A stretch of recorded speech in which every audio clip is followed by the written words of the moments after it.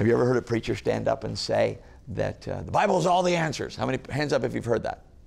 The Bible's all the answers. And she's like, really? Really? Can it tell me how to change uh, a tire on my car? Because my dad never taught me that. Can it tell me how to tie a tie?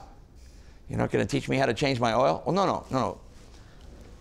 We're not saying that the Bible has all the answers, y'all. Not saying that at all.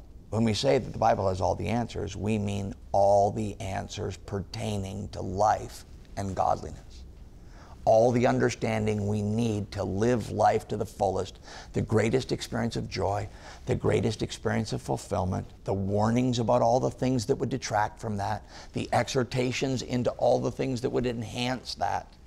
That we have in God's Word all things pertaining to life and godliness, everything in regard to His moral will.